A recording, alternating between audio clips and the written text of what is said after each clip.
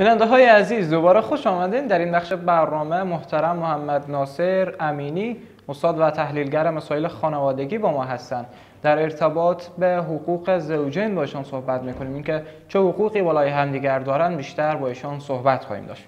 جناب استاد سلام بر شما. خیلی خوش آمدین. علیک السلام و رحمت الله و برکاته. من سلام دارم خدمت شما و بینندگان عزیز و تمام ملت افغانستان.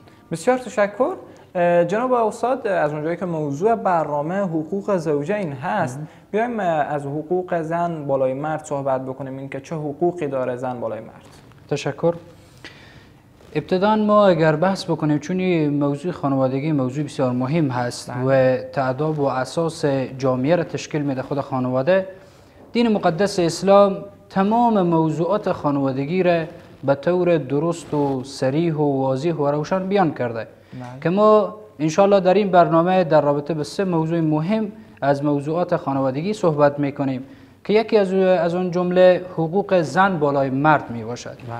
یا به اصطلاح عربی اگر بگوییم حقوق زوجه بالای زوج بله. خداوند جل جلاله در ابتدا در سوره نسا آیه پنج می فرماید اعوذ بالله من الشیطان الرجیم بسم الله الرحمن الرحیم و آتوا النساء صدقاتهن نحله شما مهریه که در قرآن شریف به صدقه بیان شده شما مهریه زوجه زوجه یا خانم را به طور نیکو و به طور تمام ادا بکنیم یعنی بپردازیم پس بنان اینجی دیگه کسی نمی‌تونه به غیر از مو خود همو زوجه یا همو کسی که به عقد نکای شخص قرار می‌گیره دیگه کسی ملکیت تام ای مهریه را نمی داشته باشه بله. اما از آنجایی که باز موضوعات مطرح میشه. مثلا عرف جامعه ما و شما هست که مثلا پدر یا اولیای از او استفاده می‌کنند. او برمیگرده به خود رضایت خود از او خانم یا از زوجه. در این رابطه مشکل ایجاد نمیشه اگر خود مو زوجه یا مو دختر به اصطلاح که به نکاح گرفته شده اگر او مهریه خود به رضایت خود به اولیای خود یا پدر خود یا برادر خود هر کس که هست که بده این مشکلی ایجاد نمی‌کنه از لحاظ شرعی. حالا ما رو موضوع مهر صحبت کردیم. ما دو نوع مهر داریم از لحاظ شرعی. یکی مهر مثل است و یکی مهر مسما. مهر مثل مهری است که از دخترهای مثلا دختر کاکا مثلا خواهر این چیزایی که از پشت پدری به اصطلاح هست اینا هر اندازه که قیمت یا مو بهای یا مو مهریه از او تعیین شده باشه بزی هم مهر مثل داده میشه. در صورتی که ما بین ای عاقدین کسایی که عقد ایجاد می‌کنن اگر در رابطه با مهر صحبت نکنن مهر مثل ایجاد میشه. اما مهر دوم که مهر مسما هست که چیزی هست که نام می‌گذارند مثلا سه لک دو لک یا پنج لک هر چیزی که به توافق هم دیگر اینا به مو راضی میشن. این اولین حقوق از حقوقی که به اصطلاح خانوم بالای شوهر داره. امینی که باید مهریه رو به طور کامل بپردازه حق دومی و حق نفقه هست. پرداخت نفقه هست. پرداخت نفقه که عبارت از تهیه قضا هست مسکن هست. اگر فرض مثال مریض میشه تداوی او را بکنه این واجب هست برای کی؟ برای شوهر ای زن. زیرا که خداوند جل جلاله میفرماید در سوره نساء آیه 20 وعلى المولود له رزقهن و کسوتهن بالمعروف. بر کسی که امی خانومی که طفل تولد کرده بر او و مو طفل از او بر شوهر ای لازم هست یا واجب هست که رزق او و کسوت او یعنی پوشاک او را بپردازه. ای از جمله ضروریات یا واجبیت همین نفقه پرداخت نفقه ای آیه قرآن عظیم باز به اصطلاح حکم می‌کنه. اما اینجا بالمعروف گفته شده یعنی به چیزی که عرف جامعه است. بله. یا به همو وسعت و توانایی خود شوهر ارتباط می‌گیره. یعنی اگر شوهر سرمایه داره توانایی مالی داره باید با مو اندازه توانایی مالی خود نفقه اولاد یا خانم خود بپردازه. و اگر شوهر به اصطلاح فقیر هست یا تنگ دست است و اون اندازه که توانایی مالی و ضعیف است به اون اندازه باید این واجب است که نفقه خانم خود و اولادای خود بپردازه. در آیت دیگر خداوند جل جلاله در سوره طلاق میفرمایه لینفق ذو ساعت من ساعتی نفقه بدهد یا پرداخت نفقه بکند کسی که وسعت مالی دارد از امو مال و دارایی خود. اگر ما بیایم کسی که مثلا سرمایه بالایی داره باز او نفقه یک کسی که سرمایه پایی داره مصرف بکنه به خانواده خود واقعا ظلم کرده خیانت کرده به خانواده خود. ولی اگر باز شوهری که نفقه از توانایی خود خود بیشتر باز مصرف بکنه. این هم ظلم به خود خود کرده و بعد به مو اندازه توانایی مالی داره به مو اندازه پرداخت بکنه. دیگر رسول معظم اسلام صلی الله علیه و سلم حدیثی در صحیح المسلم هست که میفرمایند ای بندگان الله در مقابل زنانتان از الله بترسید. یعنی حقوق اونا را رعایت بکنید به اونا ظلم نکنید. چون که امی خانم هایتان یا زنانتان که به شما حلال گردانیده شد به حکم پروردگار حلال گردانی شد. بله. در غیر صورت هیچ کس اجازه حتی دیدن دختر نامحرمه نداره.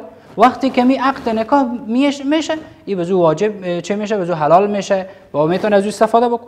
پس بنان پس اینا به حکم پروردگار بر شما حلال شد. شما این امانتی از جانب پروردگار برای شما این به طور درست و صحیح رعایت بکنیم امانت خیانت نکنیم درو پس این امانت از ما چی می‌خواه امانت از ما مثلا ای باید نفقه سی منظم داده بشه پوشاک و خوراک از آماده بشه. اگر مریض باید به دکتر برده بشه. یعنی تمام مسائل مالی که هسته به دوش شوهر هست و باید شوهر بپردازه. سومین حقی که خانم بالای شوهر خود داره حق معاشرت هست. یا رفتار نیک با همسر هست. بله. دین مقدس اسلام شوهر را امر می‌کنه. به ای که با خانم خود رفتار نیک داشته باشه رفتار شایسته داشته باشه. خداوند جل جلاله میفرماید در سوره نساء آیه 20 وعاشروهن بالمعروف فإن كرهتموهن فعسى أن تكرهوا شيئا ويجعل الله فيه خيرا كثيرا شما با همسرانتان با نیکی برخورد بکنید. یعنی برخورد شما با همسرانتان نیک و شایسته باشد.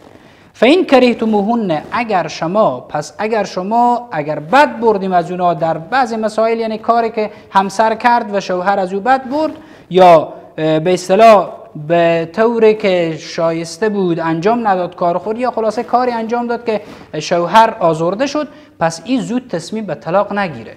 پروردگار میفرماید. بله. زود خانواده خود منحدیم نسازه از بین نبره. چه کار بکنه؟ فعسا ان تکره شیئا پس شاید از چیزی که شما بد می‌بریم او چه کار بشه و یجعل الله فی خیرا کثیرا. پس پروردگار در همون چیزی که شما بد می‌بریم خیر و نیکی بسیار زیادی شاید نهفته باشه و شاید جای داده باشه. این بود حقوقی که خانم یا زوجه بالای زوج داشت. بله. طبعا همونطوری که خانم بالای شوهر خود حقوقی داره مرد هم بالای خانم خود حقوقی داره که در ارتباط به این هم اگر صحبت داشته باشن بسیار بالکل. حتما. دین مقدس اسلام هیچگاه یک جانبه حکم نمی‌کنه بله. و هیچگاه یک طرف به اصطلاح تنیه که خوب بالا بده یا امتیاز بالای بده وظایف بالای بو بده با طرف دیگر هیچ اهمیتی نده. این قسمی نیست. همون قسم که دین ما دین کامل هست. پروردگار ما میفرماید اليوم اکملت لكم دینکم و اتممت علیکم نعمتی و رضیت لكم الاسلام دینا. دین ما کامل شده به تمام معنا. بله. یعنی در تمام ابعاد زندگی دین کامل هست. هیچ گاهی و هیچ جایی ناقصی ندارد. در رابطه به حقوق زوج یا حقوق شوهر بالای خانم که بحث بکنیم اولین حق اطاعت است. بله. اطاعت و فرمان برداری پروردگار می فرماید جل شانه الرجال قوامون علی النساء. مردها به اصطلاح سرپرست و یا کلان زنها قرار گرفته شدن. این جیتنیه که حقوق زن زیر پا بشه. نه این به خاطری هسته که تمام مشقت مسئولیت تمام این چیزها به دوش مرد هست. بله. پس بناهن شخصی که همین قدر مسئولیت رو به دوش می‌گیره باید یک ذره احترام عزت هم بشه باید از او پیروی هم بشه. به اینجاست که اطاعت و فرمانبرداری در صورتی باشد که مشروع باشه. یعنی چیزی باشه که خلاف شرع یا خلاف دین مقدس اسلام نباشه. اونجا باز حدیث پیامبر صلی الله علیه و سلم داریم که رسول معظم اسلام صلی الله علیه و سلم میفرمایند لا طاعت مخلوق فی معصیت خالق. هیچ گاهی ما اجازه نداریم از مخلوق اطاعت بکنیم که او با نافرمانی پروردگار ما ما امر بکنه. ولو او مخلوق شوهر خانم باشه پدر باشه یا والی یک ولایت باشه یا هر کس می‌خواه باشه. فرق نمی‌کنه. همه اینها اگر برخلاف دستورات الله رب العزت یا برخلاف دستورات نبی اکرم صلی الله علیه وسلم امر کرد هیچگاهی ما اطاعت و پیروی نمی‌کنیم. پس اینجا ما برای ما معلوم شد که هر امری که شوهر می‌کنه قابل اطاعت نیست. امری قابل اطاعت است که مشروع باشه و در چوکات خانواده باشه. پیامبر صلی الله علیه و سلم هم بشارتی داره برای خانم هایی که شایسته هستند نیکو هستند رفتار نیک دارند در خانواده. رسول معظم اسلام میفرمایند که خانم هایی که نمازهای پنجگانه خود ادا می‌کنند بله. روزه ماه مبارک را می‌گیرند. افت و پاک دامنی خیش حفظ می‌کنند. چی در غیاب شوهر چی در حضور شوهر خیانت به شوهر نمی کنند و همچنین در اخیر اطاعت و فرمانبرداری از شوهر می کنند در امری که مشروع باشد. پس این خانم از هر دروازه که می‌خوای وارد بهشت بشه. یعنی این بهشتی هست و جنتی هست. یعنی رضایت الله و رضایت رسولش شامل حال این خانم یا این همسر میشه. دومین حقی که شوهر برای خانم خود داره اینه که زن باید حافظ مال و ناموس شوهر خود باشد. اگر شوهر در سفر میره در جای مثلا قیابت هست ای باید هم از خود حفظ بکنه بله. که حفظ ناموسی است هم مال شوهر را حفظ بکنه. مال شوهر به این معنا که نی به اجازه شوهر استفاده بکنه بدون اجازه از او و نی هم بدون اجازه شوهر مال شوهر را به کسی دیگه بده. این اجازه را هم خانم یا همسر نداره. و همچنین آبرو و ناموس شوهر را باید حفظ بکنه که چی خود از او باشه یا اولادها از او باشه اینا را باید حفظ بکنه. سومین حق از جمله حقوقی که شوهر بالای خانم خود دارد. اوی است که خدمت شوهر در صورتی که انجام بده که سبب خوشحالی همسر از او بشه. سبب بشه که شوهر از او راضی باشه. سبب بشه که نافرمانی و یا هم سرپیچی از اوامر شوهر خود نباید بکنه. این بود حقوقی که به اصطلاح شوهر بالای خانم خود داشت. و همچنین از جمله حقوق اینه که با اولادای از تربیه سالم بکنه بله. تربیه درست بکنه. اما طوری که شایسته هست که اگر فرزند مسلمان تربیه شوه همون گونه باید تربیه بکنه. سلنگاری در تربیه فرزندان نداشته باشه. گرچه حق مشترک هم هست با در حقوق مشترک هم بیان می‌کنیم ولی امو سهمیه که خانم داره باید ادا بکنه و چون مادر گهواره هست. همیشه طفل در پیش مادر می باشه تا سنین 7 ساله و 8 ساله. پس بنان این طفل باید تربیه شوه به طور درست و به طور صحیح است. و آخرین حقی که شوهر برای همسر خود داره اینه که همسر از او باید با خانواده از او که خسور خلای همسر او میشه و همچنین به اصطلاح اقوام نزدیکی که اقوامی باشه که زویل ارحام باشند یعنی کسایی که رفت آمد اونا روا باشد که با خانم میرند و میان خدمت از اینا را باید به طور شایسته و نیکو بکنه بله. حقوق مشترکی که زن و شوهر بالای همدیگر دارن صحبت بکنه خب. از جمله امتیازات یا حقوقی که شوهر بالای زن داشت و یا زن بالای شوهر داشت بحث کردیم. بله.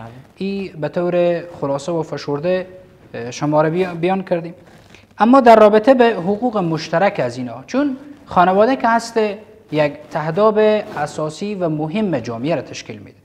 پس بنان به این تهداب باید کارکرده های بسیار مهمی انجام بگیره.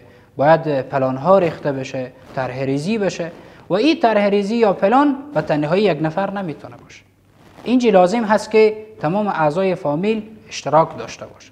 پس بنان از لحاظ حقوق که به نظام خانوادگی اسلام بیان می‌کند این است که زن و شوهر در خانواده دارای حقوق مشترک هم هستند و مکلفیت دارند که هر دوی اینها با هم یک جا و پهلوی هم ای وظایف انجام بدن. این حقهای مشترکی که دارند برای همدیگر انجام بدن. تا ای که زندگی اونا به طور آسایش و آرامش و زندگی خوب و خوشی تیر بکن. از جمله حقوق مشترک اینا یکی تعاون و همکاری بین همدیگر هست. بله. دین مقدس اسلام دینی است که واقعا هر چی تعریف بکنیم کم هست. نظام الهی هست. تمام ابعاد زندگی شامل شده و برای همکاری و تداوم در امورات دنیوی هم امر می‌کنه که زن و شوهر باید به پلوی همدیگر همکار باشند و این معنا نیست که اگر شوهر به داخل خانه میایه دست خوب به اصطلاح عوامی به سیاه و سفید نزنه. نه. باید به تمام امورات زندگی که می‌بینه که خانمی تنها هست یا کار توانایی کار کردن نمی‌تونه یا مریض هست این خدمت از او را بکنه. این چیزی نیست که از غیرت مرد کم بشه یا از ایمان از او کم بشه و یا از به اصطلاح مو قدرت و توانایی از او کم بشه. این حقی است که باید مرعات بکنن همسرا و همچنین شوهرها که با بین همدیگر تعاون این همکاری مادی داشته باشه یعنی کمکی که داخل بله. خانواده صورت می‌گیره باید اینو همکار باشن و همچنین همدیگر پذیر باشن بله. انسان امکان داره که خطا بکنه امکان نداره که انسان مرتکب خطا نشه چون معصوم ملائکه هستند و همچنین انبیاء کرام هستند انسان ها دیگر لغزش می‌کنند خطا می‌کنند مرتکب گناه می‌شوند پس بران اگر خانم مرتکب خطایی میشه یا لغزشی میشه شوهر نباید پرخاشگری بکنه نباید تعدید بکنه نباید لط بکنه نباید دیگه گپای زشت بزنه. و یا هم در مقابل اگر شوهر مرتکب خطای گناه میشه همسر حق نداره به او تاز بکنه و محکمه و محکمه بازی بکنه. پس بنان اینا همدیگر پذیر باید باشه همدیگر به آغوش بگیرن. همدیگر ما بین همدیگر صلح باشه آشتی باشه و آرامش در خانواده باشه. این در امورات دنیوی بود به اصطلاح اموراتی که شامل داخل خانوادگی بود. دومین حق مشترک اینه که با همدیگر در طاعت الله و تقوای الهی هم باید همکار باشن بله. چون دین مقدس اسلام تنها دین دنیوی نیست و همچنین تنها دین اخروی هم نیست. که تنها ابعاد دنیای آخرت را در نظر بگیره و از دنیای حاضر که پیامبر صلی الله علیه و سلم میفرمایند دنیا مزرعه الاخره دنیا کشتزار آخرت هست. و اینجا ما اگر چیزی نکنیم به آخرت چیزی درو کردن نمی‌تونیم. اگر اینجا پاداش نداشته باشیم به آخرت توشه ای نداریم. پس بران در طاعت پروردگار و در سفارش به تقوای الهی مکلف هستند هر دویشان. زن و مرد و پهلوی همدیگر همدیگر سفارش بکنند. به عبادت الله و تلاوت قرآن عظیم و به خواندن نمازهای شبانه. و اینها مکلفیت دارند که از جمله حقوق مشترک ایشان است که باید اینا با همدیگر همکاری بکنند و با همدیگر با طاعت الهی و تقوای الهی همدیگر یاری بکنند. سومین حق از جمله حقوقی که مشترک هست بین از اینا تربیه اولاد یا طفل است. بله. این حق تنها نمی‌تونه شامل مرد باشه یا تنها نمی‌تونه شامل خانم باشه چون به تنهایی نمی‌تونن اینا تربیه بکنن. چون زیرا که از سنین ابتدا که طفل متولد میشه تا هفت ساله و 6 ساله در آغوش مادر هست. اینجا تربیت لازم هست. از هفت سالگی که پیامبر صلی الله علیه و سلم گفته شما اطفال خود به مسجد تشویق بکنین نماز ادا بکنن که طاعت الهی را ادا بکنن که فریضه الهی هست. و همچنین در سن ده سالگی اونا را تعدیب بکنیم تا که همو راه مسجد در بلد باشن نماز را ادا بکنن تا که بیبندوبار و لوبالی در جامعه ما علیه بالله تقدیم نکنیم برای جامعه که با در اخیر باز مشکلات خود در جامعه به بار میاره. پس بنان مسئولیت پدر و مادر هست که در تربیت اطفال خیش همکار باشن با هم و هم با همدیگر کمک بکنند و یاری بکنند تا ای که اطفال نیک و شایسته به جامعه تقدیم بکنند. زیرا که از جمله حقوقی که یا به اصطلاح از جمله صدقات جاریه که بعد از وفات انسان هم برای او میمانه و نامه اعمال از او پر می‌کنه ای است که طفل یا فرزندی تولید بکنه در جامعه اسلامی تقدیم بکنه در جامعه اسلامی که او فرزند چی باشه؟ دعاگو باشه برای پدر و مادر. او فرزندی باشه خدمتگار جامعه باشه. این توصیه‌ای است که دین ما دین مقدس اسلام برای اتباع خیش یا برای پیروان خیش اینا را به اصطلاح امر کرده و لازم دانسته که اینا رعایت بکنن. پس بنان پدر و مادر باید احساس مسئولیت بکنن در قبال اطفال خیش و در قبال تربیت اولاد خیش. چه مر... چه بچه باشه چه دختر باشه فرق نمی‌کنه. هر کدام از اینا باید متو درست و صحیح در خانواده اسلامی همونطور درست صحیح مسلمان باید اینا تقدیم جامعه بشن. آخرین حقی که حق مشترک به زن و شوهر هست این است که با همدیگر اخلاص داشته باشند بله. وفا به عهد داشته باشند عهد می‌کنند با او وفایی بکنند. و همچنین مودت و رحمت در بین همدیگر باشد زیرا که الله رب العزت و الجلال میفرماید ما شما را از یک مرد و زن خلق کردیم به خاطر اینکه لتسکنو الیها تا که با پهلوی همدیگر شما ساکن باشیم آرامش داشته باشیم و راحت باشیم. و جعل بینکم مودتا و رحمه. و همچنین ما گردانیدیم بین شما در میان شما مودت و رحمت و آسایش را تا ای که شما بتانیم به مو آغوش به مو کانون گرم خانواده خش زندگی خود به سر بباریم و به زندگی با آرامش و آسایش داشته باشیم. بله بسیار تشکر. جناب آقای امینی چقدر می‌تونه رعایت کردن این حقوقی که زن و شوهر بالای همدیگر دارن می‌تونه اونا رو در زندگی مشترک موفق بگردانه؟ در اگر نتیجه گیری هم داشته باشه از این صحبت ها بسیار. حتما انشاءالله. ببینیم تمام ایمی حقوقی که بیان شد اگر زن و شوهر پهلوی همدیگر و با همکاری هم این حقوق رعایت بکنن هیچگاهی منتج و یا نتیجه آن به طلاق نمیشه یا به تفریق و جدایی محکمه نیاز نداریم و یا هم به کشمکش قومی یا خانوادگی مبتلا ما نمیشیم امی کشمکش اختلافات بدبختی هایی که بین خانواده ها میه همه از است که حقوق همدیگر رعایت نمی کنند و یا هم می‌تونه ای باشه که حقوق همدیگر را نمی‌شناسند یا بله. آگاهی ندارند. از حقوق همدیگر تا ای که مراعات بکنند رعایت بکنند. فکر می‌کنه مرد تمام حقوق و امتیازات بالایی داره و زن هیچ حقوق و امتیازی نداره. اینجی انمی خودخواهی ها یا امی کبر و غروری که برای مرد پیش میایه اینجا چکار میشه؟ سبب مختل شدن زندگی میشه یا خانواده میشه و به همریزی کانون گرم خانواده میشه. و یا هم برعکس بعضی خانم ها هستند که به اصطلاح قدرت و توانایی بالایی دارند بالای شوهرای خود حکم می‌کنند فکر می‌کنند که ما یا حق ما هست که باید بالای شوهر خود امر بکنیم یا حکمی بکنیم. در صورتی که هم برای مرد حق و حقوقی تعیین شده که بالای خانم خود داره و هم خانم بالای مرد یا مو شوهر خود حق داره. و همچنین حقوق مشترک است که بیان شد. ما بین همدیگر که به تنهایی هیچ کدام نمی‌تونن این حقوق رعایت بکنن و با همدیگر باشند می‌تونن که این حقوق مشترک خود رعایت بکنند و. زندگی با آرامش و آسایش سپری بکن. چقدر امروزه این حقوق که بالای همدیگر دارن فهمیدن مردم در جامعه فهمانده شده؟ چقدر اینها رهایت میشه؟